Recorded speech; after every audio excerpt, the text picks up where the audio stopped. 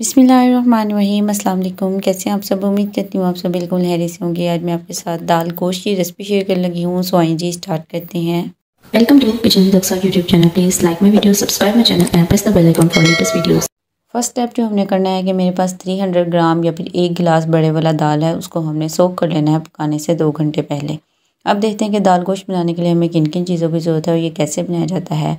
Oil half cup एक medium size का ब्रीक कटा हुआ प्याज 300 ग्राम बीफ एक टीस्पून लहसुन अदरक का पाउडर या पेस्ट एक एक टेबलस्पून नमक, लाल मिर्च, धनिया पाउडर हाफ़ टेबल स्पून हल्दी पाउडर हम इसमें ऐड करेंगे। एक मीडियम साइज़ का टमाटर मेरे पास फ्रीज फॉर्म में था, मैंने क्रश कर लिया। फ्रेश को भी ब्लेंड कर सकते हैं।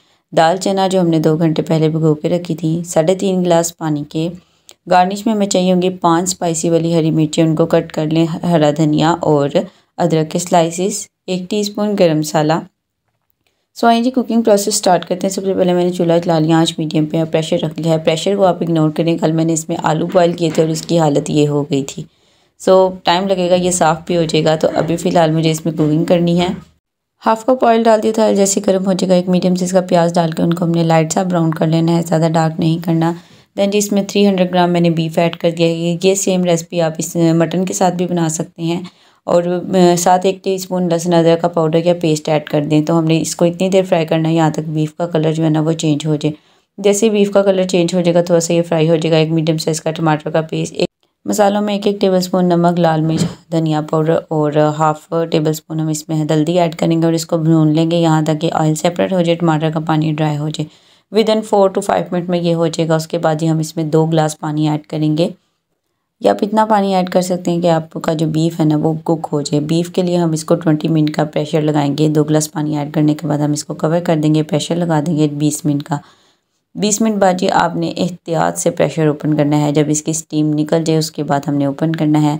तो अब हम सबसे पहले चेक कर लेंगे हमारा बीफ कुक है कि नहीं। अभी इसमें पानी बिल्कुल भी नहीं है और मुझे लग रहा है कि बीफ भी कुक है अलहमदिल्ला से।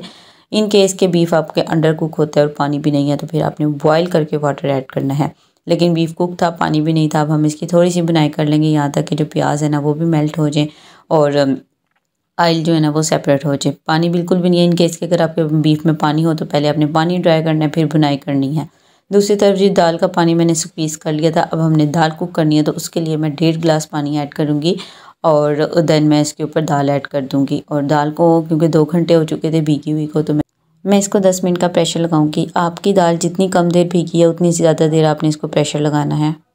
दस मिनट बाद ही हम एहतियात से प्रेशर ओपन कर लेंगे। स्टीम निकलेगा, उसके बाद हम इसको ओपन करेंगे और चेक करेंगे दाल हमारी कुक है कि नहीं। तो देखने से तो दाल भी कुक लग रही है। इन केस की अगर आपकी दाल कुक नहीं होती और पानी भी बिल्कुल ड्राई हो जाता है तो फिर आपने अगेन इसमें बॉयल वाटर डालना है। टोटल साढ़े तीन गिलास मैंने पानी बोला था और दो गिलास हमने बीफ के लिए और डेढ़ गिलास हमने दाल के लिए ऐड कर लिया है। अब जी फ्लेम हम बिल्कुल लो पे कर देंगे, इसमें एक टीस्पून गरम मसाला और हम इसमें हरी मिर्च अदरक और धनिया डाल के इसको 10 मिनट लो फ्लेम पे, बिल्कुल मीडियम टू लो फ्लेम पे हम इसको कवर कर देंगे ताकि जो हरी मिर्च का फ्लेवर है ना, वो सारा दाल में चला जाए। उसके बाद ही हम इसको प्लेट में निकालेंगे, सर्व करेंगे। नमक मिर्च आप चेक कर सकते हैं चीज़ आपको कम लगे वो ऐड कर सकते हैं। ऊपर मैंने बटर रखा था और मज़ेदार सी दाल तैयार है। ये रेसिपी चार पर्सन के लिए इनफ है। होप सब आपको रेसिपी अच्छी लगी होगी। रेसिपी अच्छी लगी तो वीडियो को लाइक करें, चैनल को सब्सक्राइब करें। अपने फ्रेंड के साथ लाजमी शेयर करें। Thanks for watching